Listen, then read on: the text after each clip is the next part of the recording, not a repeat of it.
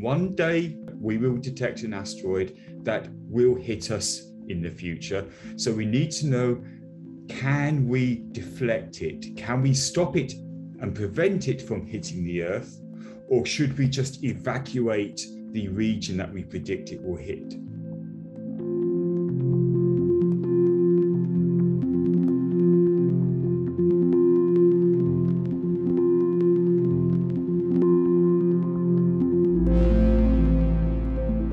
There is a way uh, that we can uh, test this technique without making the asteroid dangerous.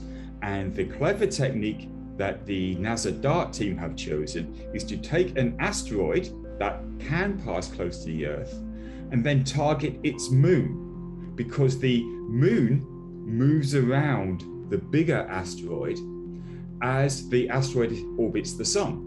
And that will just change the orbit of the moon around the asteroid, so it is completely safe.